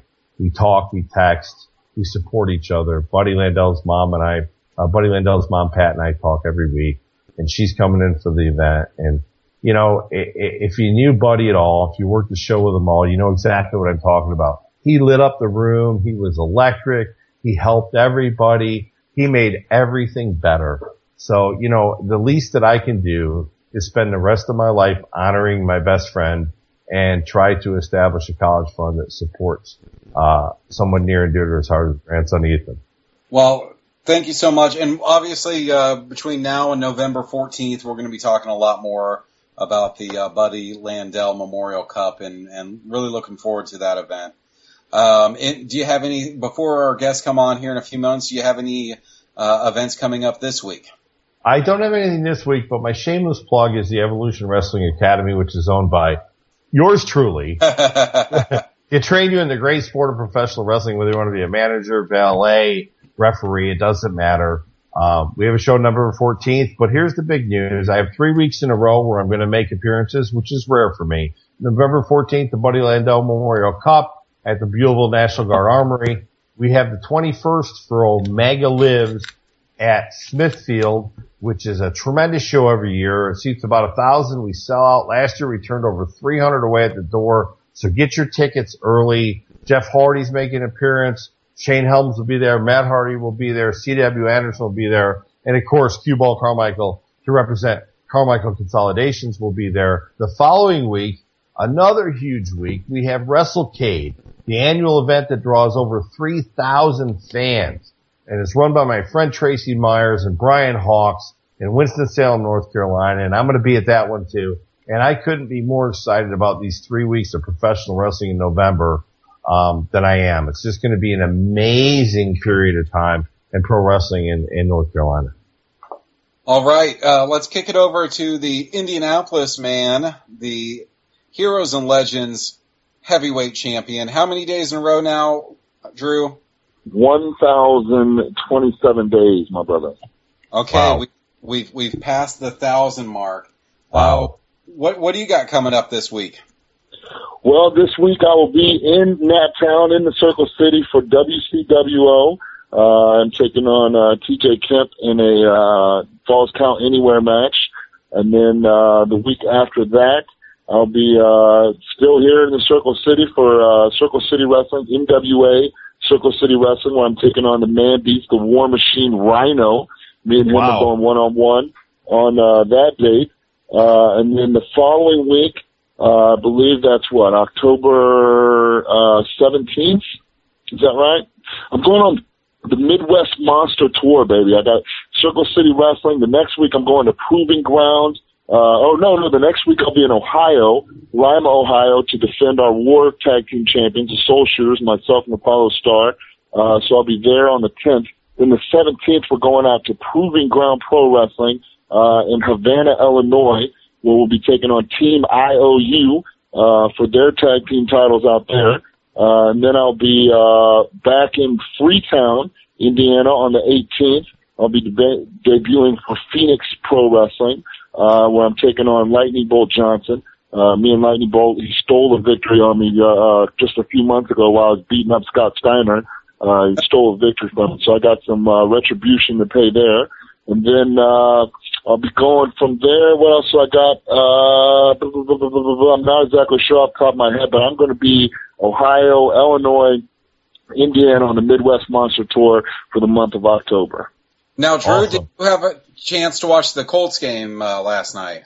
I'm not a Colts fan, brother. Colts suck. Go Bears. Bear down. Okay, well, you know, I was thinking about you because I know you're taking on Rhino soon, and uh, yeah. the Colts now have uh, Frank Gore and he had a had a pretty good game last night. So every time they yelled out Gore, I was thinking about you taking on Rhino. So I, I I'm I'm a little scared for you, brother. Don't be scared, man. I'm I'm ready. You know, I've been saying it for a while, and then Will Huckaby, he's gonna he's gonna I'm sure have something to say about it. But NWA, man, I'm coming for the uh, world heavyweight title, man. Me and Rob Conway Hey, last the last time we fought, he flipped the victory on on me with a roll up. Uh, you know, but we're going back to war. I'm going through Rhino. Rob Conway just had a world title match. Rhino's my my gateway. Rhino, then Conway, then it's my turn next, right?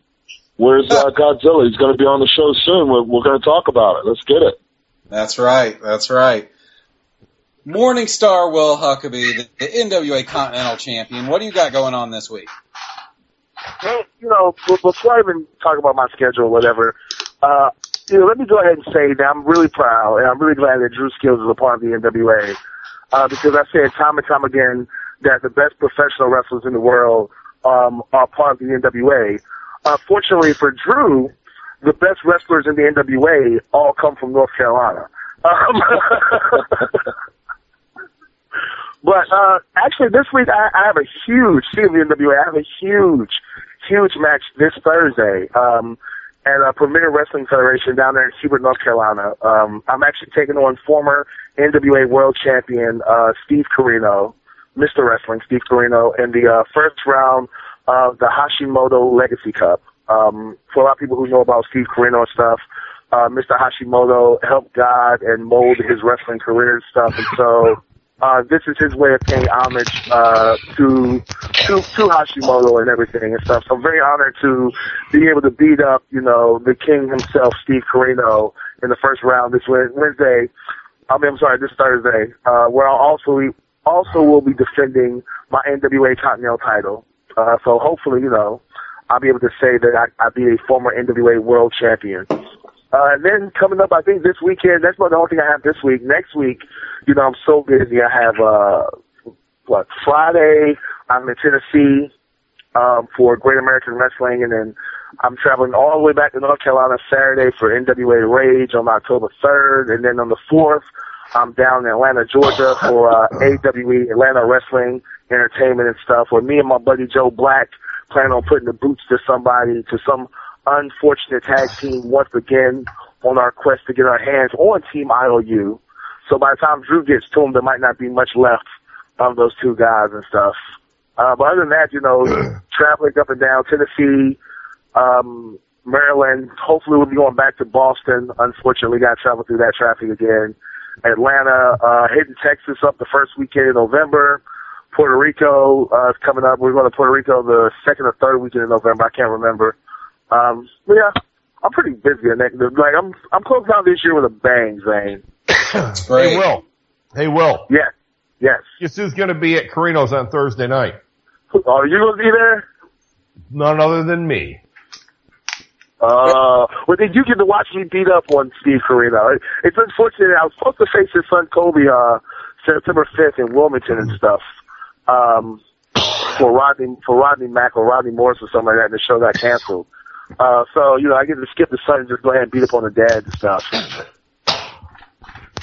Well, I'm going to be at the WCWO Outlaw Arena on Friday doing a, a little ring announcing, and I'm not sure if Dru Skillz will be a heel or a face to me that night, so uh, we'll have to wait and see then. Uh, but uh, definitely come out and catch the action. Q, I'm going to kick it over to you because I believe that we have one of our guests called has called in. Awesome. Hello, caller. Yes. Hello? Hello? Hello? Hello? Who do I have? This is uh, Chief Attakullakulla. Hey, Chief, how are you? I'm doing good. Fantastic. Fantastic. Uh, Chief, can you give us a little background for those listeners that are not familiar? Uh, how you got in the business, what interested you, who you trained with, how you got started? I uh, got in the business in 1986. Um, down in Central States. Uh, Irish Terry Gunn used to work for Bob Geigel in Central States promotion down there. I did my initial training. Then I went out to Arizona from there and trained with Dale Pierce and uh, came back and did a little little uh, finishing up with Ox Baker um, back here in the Midwest. Awesome. Awesome. Now, so you've been out there since late 80s, 86, 87? Yeah, 80, 86. I started training 85. I had my first match in 86. Gotcha. Now, if, I, if I'm not mistaken, you you were the AIWF World Heavyweight Champion at one time, weren't you? Yeah, um, uh, about three years ago, I think, three or four years ago. Uh, tell us a little bit about that reign and where you wrestled and the, the type of caliber of talent that you wrestled against. Oh, I wrestled, uh, oh, I can't remember how many affiliates the AIWF had at that time, but I think I wrestled in, in about, uh, 35 or 40 of them. Uh, at that time, I think they had, uh, I think they had around 100 at that time. I think they're, I think they've scaled down a little bit now, but, uh, back then they had a lot of affiliates, uh, they they had good promotions, you know, and some were bad. They had, you know, they they they had. I think they're a little more selective now, but they had all kinds of a uh, little bit of everything across the country involved in. So I wrestled.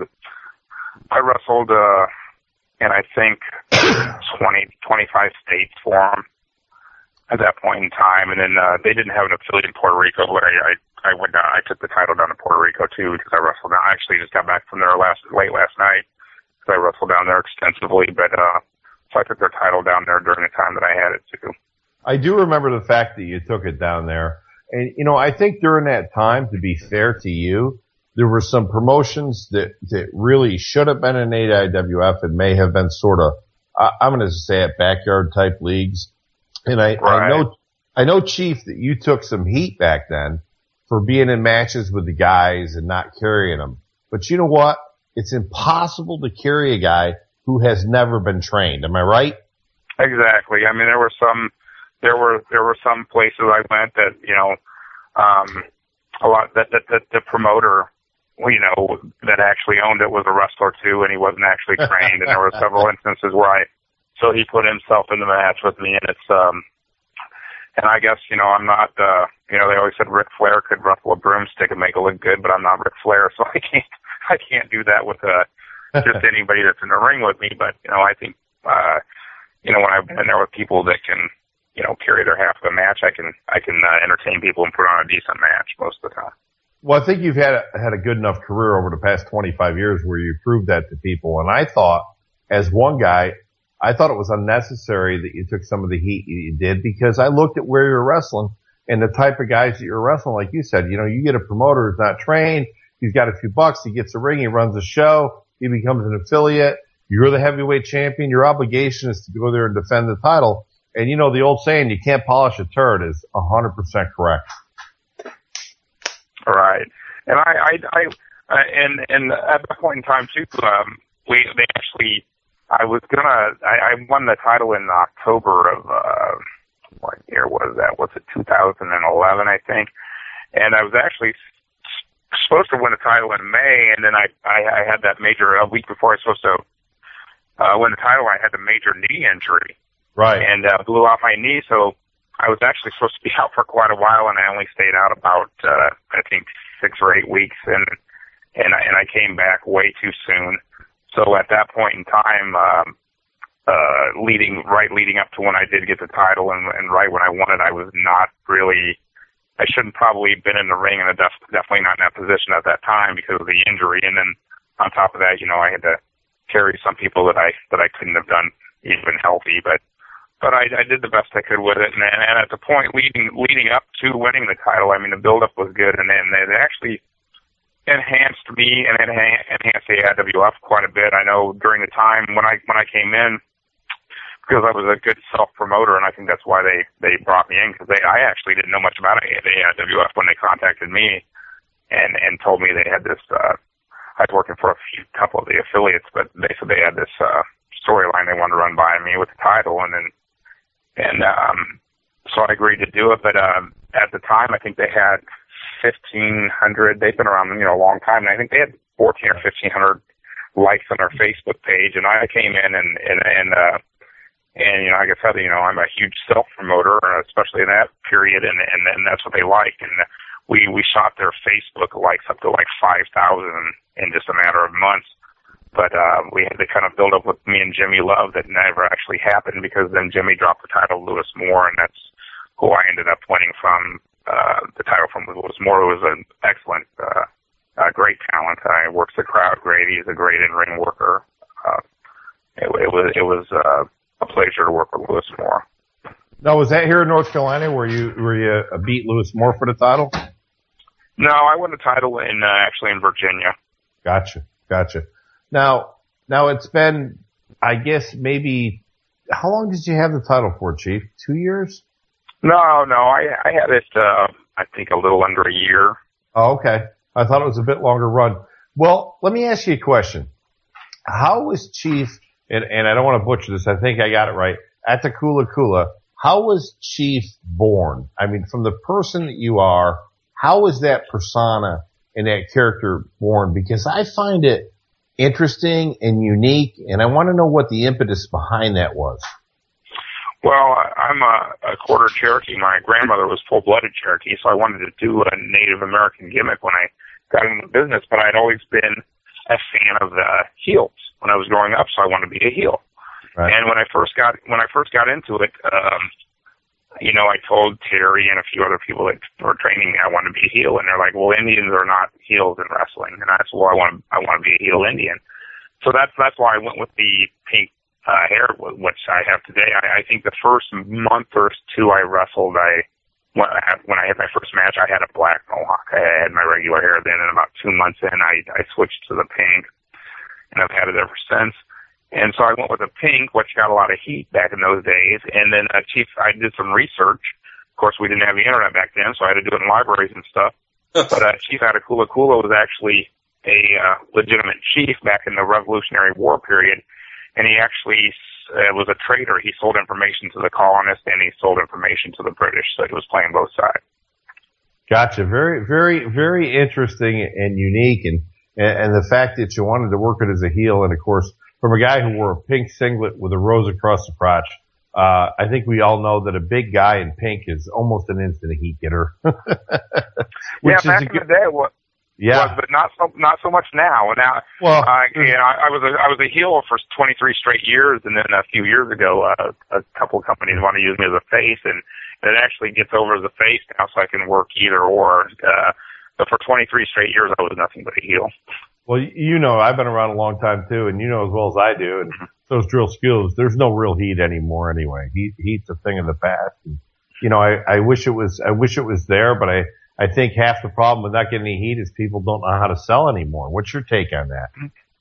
Well, I think it's still it's still possible. I mean, the business is so much exposed now. But I, I put up a video today from from Puerto Rico. Of course, that's a different uh, world than we have here. It's a different world but down yeah, there, brother. Yeah, yeah, and you, and if you watch the video I just put up this afternoon, it's I mean, and the, you can get tons of heat down there. I mean, it's it's actually dangerous to an yeah, extent because those people get so passionate.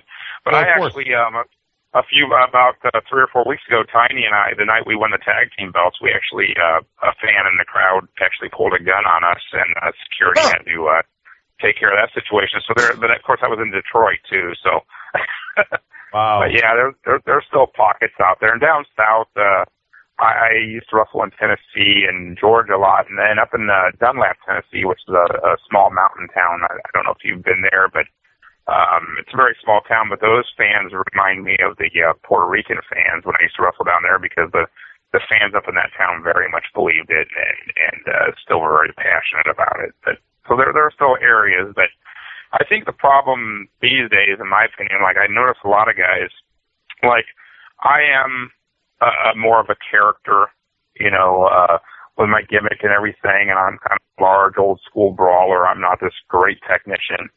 But I think uh, what, what I see are a lot of guys, young guys in the business now, really want to do a lot of technical wrestling, which which isn't a problem. But when they're a heel, I see a lot of guys they'll walk out to the ring and be arrogant and get a little heat from the crowd then, but then they get in the ring and the bell rings and they just wrestle. Yep. And, you know, they, yep. they're they're not a heel. They they they forget the crowd's there once they're in the ring. You still got to constantly, you know, I get someone in a corner, get a face in the corner, give them a big chop my turn and look at the crowd and I sell it to them too and get a little heat from it, you know, and then go back. You know, I think guys go too fast in my opinion and, and I think they ignore the crowd. And a lot of times I'll see a match and and a guy who's a heel wants to do a lot of this technical stuff and he actually gets in there and out wrestles the face, which, you know, is not it's not gonna get you any heat. I. You're you know what, you're exactly right. And that's that's the nice thing about talking to, to an old school veteran too, is you understand that you know, for instance, you spent most of your career as a heel as I did, and my my heel heat was punching when the ref isn't looking, but everybody else is, choking when the ref isn't looking, but everybody else is, and just, you know, being a nasty guy. No, there was no, there was no Russian leg sweeps. There was no fisherman suplexes. There, there were no superplexes. I just went in there and got nasty, dirty, cheap heat and it worked phenomenal. But when these guys come in, like you said, and it's a great point, Chief, these guys come in and they want to out wrestle the face. And then what happens is the people don't want to side with the face because he's not the best wrestler, but they don't want to side with the heel because he's the heel. So they check out instead of getting them to emotionally invest in the match and the characters. They're checked out. Exactly.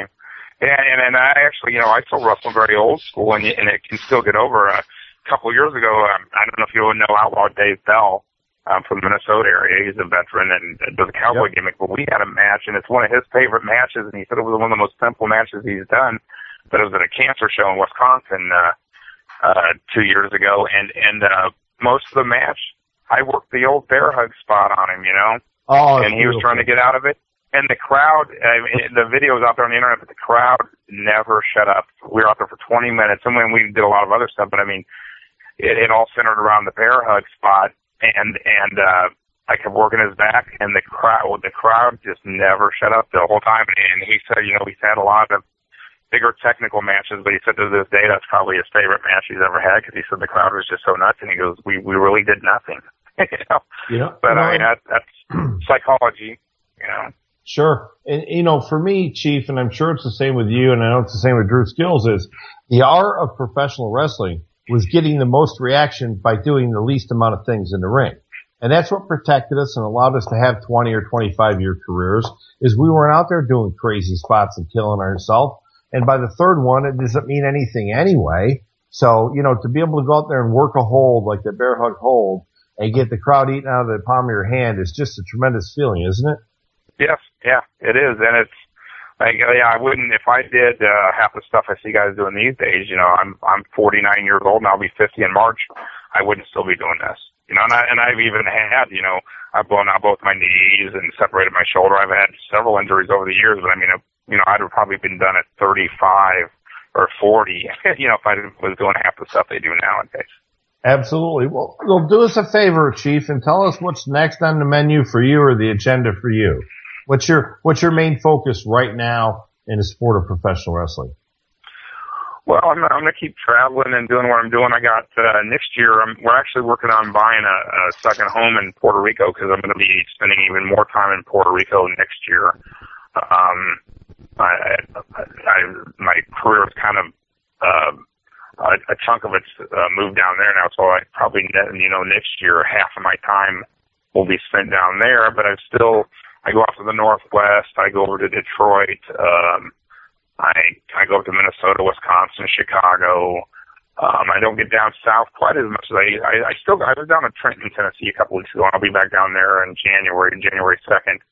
But, um, right now I'm focusing on defending the tag titles, the UIWA tag titles I have with Tiny and, uh, our, our tag team, uh, it's been working out well. Uh, and uh, and uh, so I'll probably continue the tag teaming up here because I think at this point in my career and my age, it's probably probably good to have a tag team partner, maybe to split some of the chores with. Then when I go down to Puerto Rico, um, mostly I, I work as a singles a lot, so um, I'll kind of have a singles career down there maybe, and kind of kind of I, I plan on tagging up here a lot in the foreseeable future. You know? Sure. Sure. Uh, tell tell me what it's like working in Detroit because you know as well as I do that with the Cobo Hall and the Sheik, it's a very storied town that has a deep wrestling history. How is it to actually in, in 2015 or 14 or the last two or three years, how is it to work in Detroit? What part of Detroit are you working in and how are you received by the fans? Um, it's, it's kind of, uh, interesting over there because I've been, I've been a, a, a, a I, I, when I first went over there was a face a few years ago, and and then they turned to me heel, and then I had a slight kind of swerve face turn back, and I'm I'm back heel now. But it, it's a, it's an interesting demographic. I work in a, a different suburbs around uh, Detroit, and actually in Detroit itself too. Uh, but um, uh, out in Garden City and um, a couple other places. But um, it's kind of interesting. Even even um, as a heel over there, I get kind of a mixed reaction Right. Um, it, it's almost like the John Cena thing in the reverse, though, because I'm supposed to be a heel, but there's a there's a portion of the crowd that cheers me over there. Uh, there's a lot of heel fans over in the Detroit area, and and and so it, it's kind of it's kind of a mixed reaction. Understand? Tell me about the the the totem pole of love and your your partner Tiny and how that came about and why you guys decided to do it and why it seems to be so popular. Well, Tiny and I had, had feuded uh, over in uh, Wisconsin. I was heel and he was face, and then then he turned heel, and he was start, had started to work over in Detroit a little bit too, and he was a heel over there, and and, and so was I, and then uh, um, and we just I just thought that the team you know, because I've always whenever whenever I've been on a team, I've been on teams off and on over the years, but I've always been the big guy it. Cause I, you know, I weigh 335 and I'm six foot one, but he's six foot six and 480. So um, I thought, you know, you don't really see, because you know, indie wrestling is these days too. There's so many guys that are small. You know, I mean, a 200, 225 pound guy almost is a large guy these days. And back when I got into business, um, even though I'm like 335 now, I remember when I was going to get into business when I was when I was 18, 19 years old. I want to get into it. I was like 190, and I talked to Bob Geigel because I used to help set up the ring in Des Moines, Iowa here and stuff. And I and uh, and uh, he's like, well, you need to you need to put on some weight. And he said I I couldn't even look at you know doing anything with you until you know training you till you're up like 220, 225, you know, at a minimum. Because you, you know that's that's how it was back then. That was a small guy back then, you know. You know, it's funny but that you mentioned that. I was given a lead in tonight to me and, you know, at, I moved from upstate New York to Hawaii to get trained and I went to Lars Anderson school. I was 6'1", 6'2", 225. He looked at me and said, you're too small. yep. Exactly. It was a whole different yeah, world I, I back then. I worked with Lars years ago. Um, what, what year did you, uh, work with him or start with him?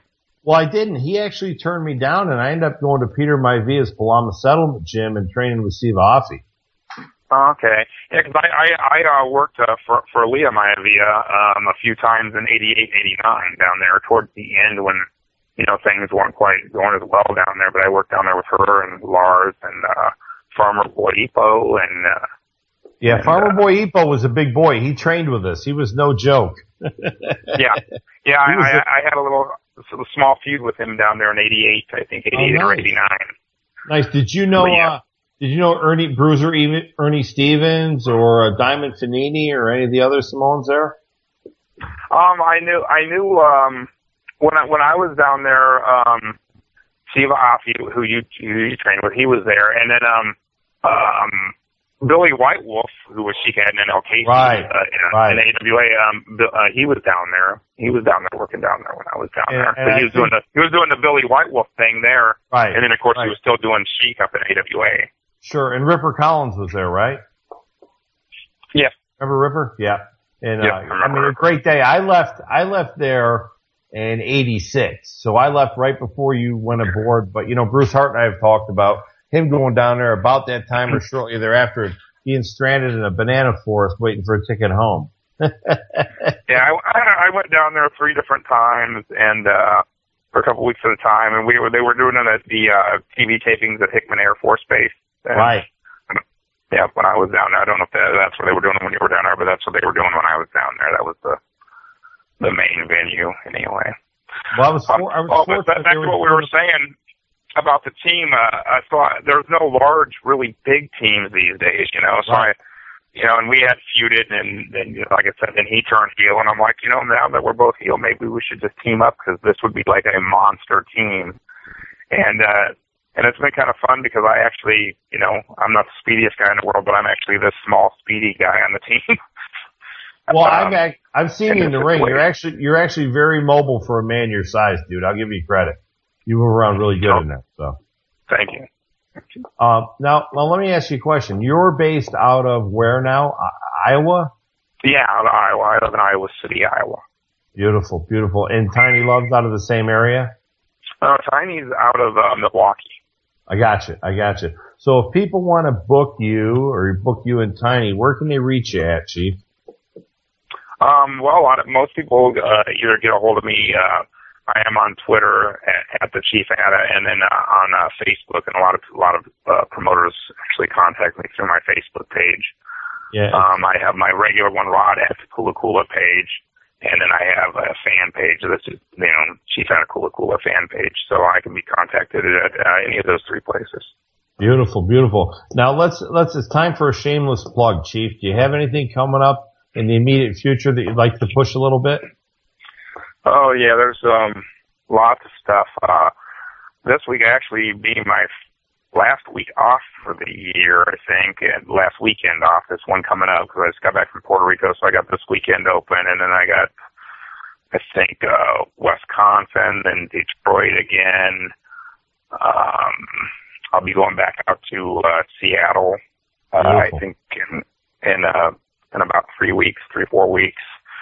Um, I got Tennessee, big big show, um, uh, big rematch. Uh, and Chief, how are the uh, crowds uh, in Seattle these days? Uh, well, where where I, where I wrestle up there for SCW is actually in Bremerton because the, the athletic commission is so tight.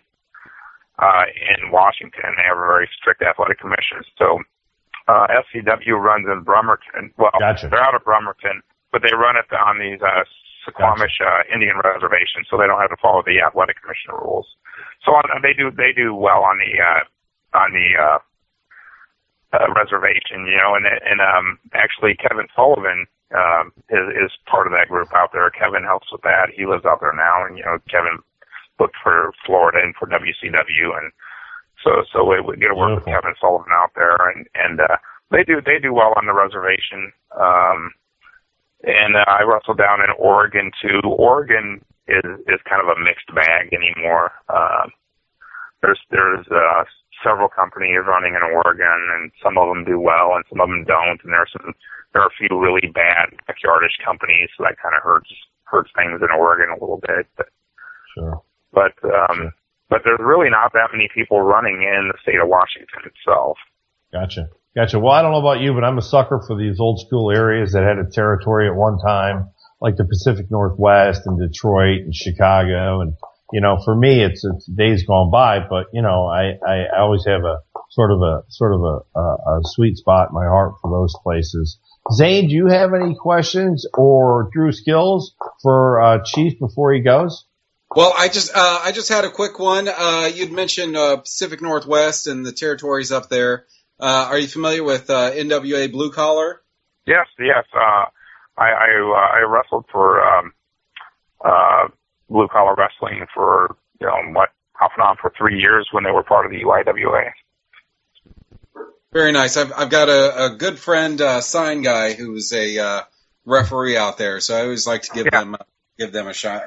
Yeah, are, are yeah. Fine, uh, Fine Guy is a very good friend of mine actually, and um, and uh, he he also referees for SCW in Washington. He sign Guy works for just about everybody out there.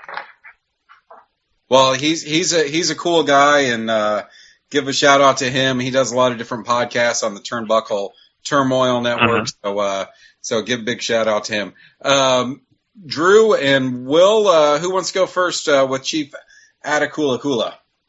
I just want to uh, tell you, man, we appreciate you coming on, bro. It was uh, good to hear your story tonight. Yeah, I, I appreciate you all having me on here. It's been, I think it's been a couple of years since I've been on the show, actually. So. Yeah, uh, you were you were one of our early guests, uh, so uh, very nice to have you back on. Uh, Will Huckaby, do you have any questions for Chief Attakullakulla? No, no, I was going to say the same thing as, as uh, Dru and Son. Say thank you for coming on and being a guest in the show and sharing your not only your story but your experiences and stuff all all across the world, basically. yeah, hey, I, Chief Atakula, uh, you gave a, a, quick plug for your uh, social media sites, but can you uh, tell our listeners those again, please? Um, on Twitter, it's at the Chief Atta, and then I have uh, uh, well, it's not really a personal fa- uh, Facebook page, but I have Rod Attakullakulla. It used to be Chief Attakullakulla where you could friend me. But of course, Facebook made me change it a while back, get rid of the chief part. and then I, I have police. a chief. Yep. And then I had a chief Attakullakulla fan page. So, um, I can be, you know, reached at any of those. Well, well, Chief, I got to tell you, uh, it's Cue Carmichael here, and I was I was really excited to talk to you because in, in all the last 20 some years working around these areas, we've never crossed paths, but, uh, you know, I, I can tell you that the guys that I talk to that know you have nothing but good things to say about you, which is positive in this business. You're a busy guy. And I want to really thank you for coming on the show tonight. It was good to get to know you a little bit, hear your story and your background. It's good to have another old school brother out there tearing it up. Well, thanks for having me on, and I, I appreciate talking to you all.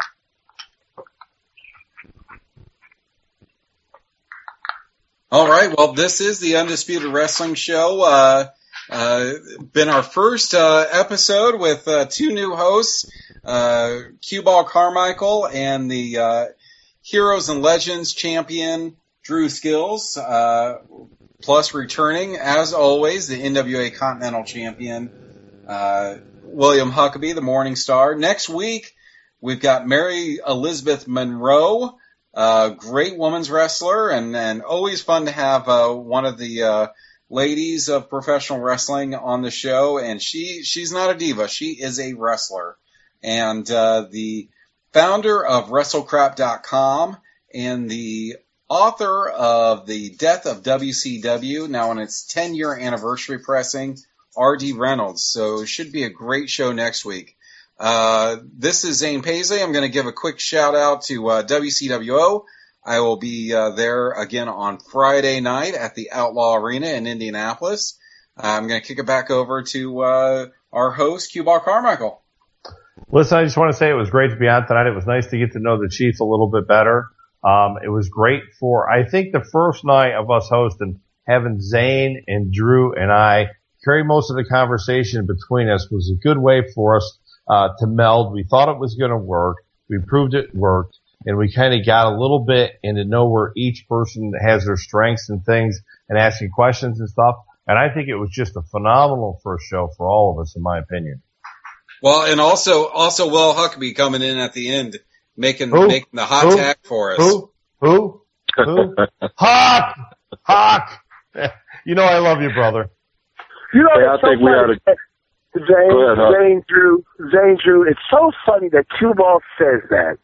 But now that he has, you know, Mid Atlantic Wrestling League going on and stuff, you know, I'm not opposed to uh, traveling a couple hours down the road and and trying to teach, you know, a uh, more experienced dog. I'm not gonna call him old. I'm gonna call him more experienced dog a new trick or two.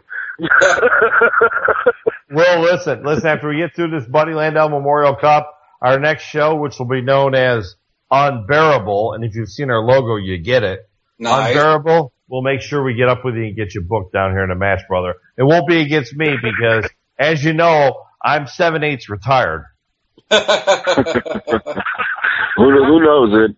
Who knows it may be against Dru Skillz. I just want to say I had a great time tonight, guys. I think we had a great first show of all of us being together. Our season premiere, I think it went great. If you enjoyed the show tonight, tell your friends, tell everybody. The Undisputed Wrestling Show is doing great things.